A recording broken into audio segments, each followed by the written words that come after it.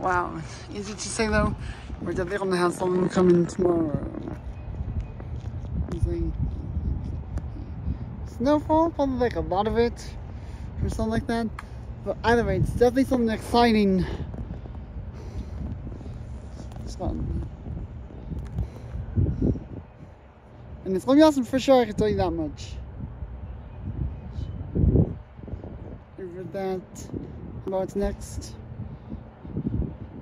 We, you may see that about, you will see tomorrow Naki Slow.